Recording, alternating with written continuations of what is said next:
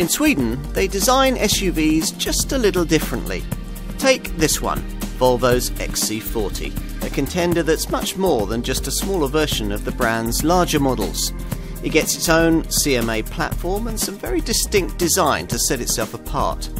The result is an interesting alternative to more mainstream premium branded compact SUVs like BMW's X1 and the Mercedes GLA, and one you might rather like.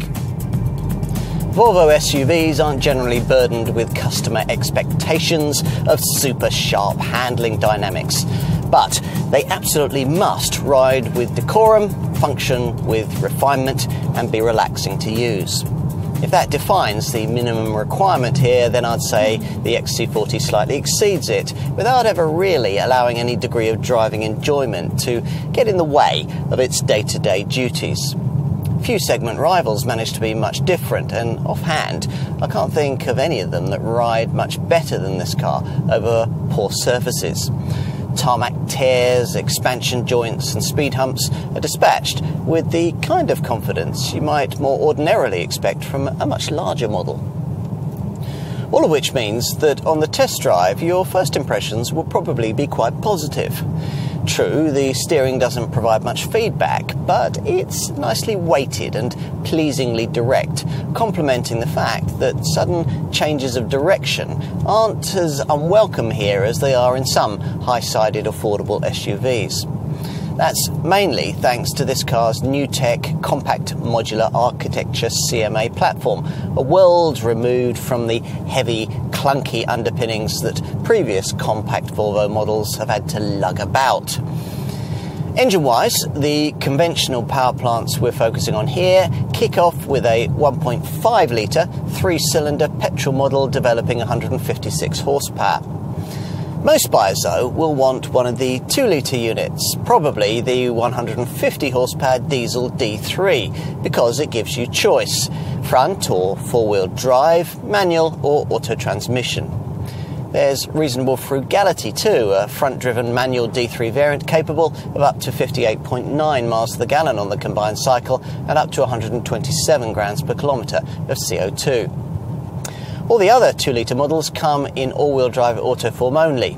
There are 190 horsepower T4 petrol and D4 diesel derivatives, uh, we're trying the D4 here, and a top 247 horsepower T5 flagship petrol variant.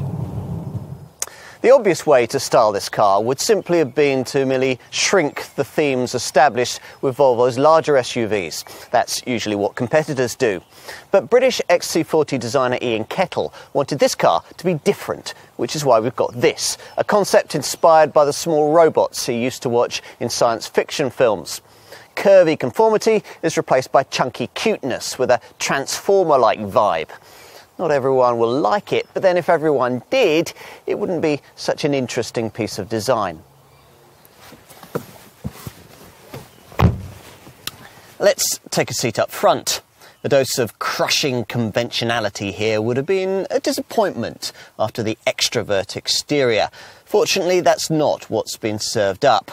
Instead, you get digital dials, a dose of Swedish minimalism, and door cards made out of a weird felt, apparently fashioned from recycled drinks bottles. There are door bins bigger than any you'll have ever seen, and the designers have somehow crammed in the 9 inch portrait style Sensus infotainment screen that is used in larger Volvo models, framing it with these unusual Star Wars style vertical vents. Interested yet?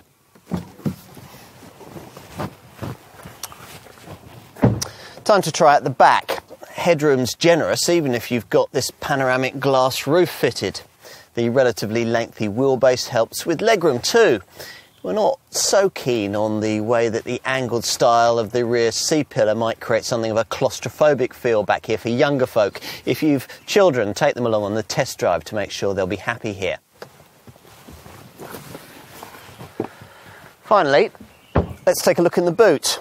This power operated tailgate can be fitted, but you don't really need it because the tailgate's relatively light and when raised reveals a low loading lip over which you access a cargo area rated at 460 litres.